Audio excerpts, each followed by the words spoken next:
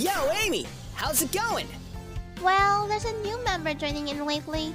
But we're gonna have to look into their personal info first before we find out the suitable Wispon for them.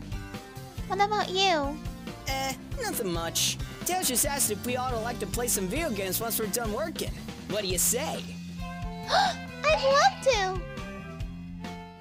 Amy, keep passing me the paper clips.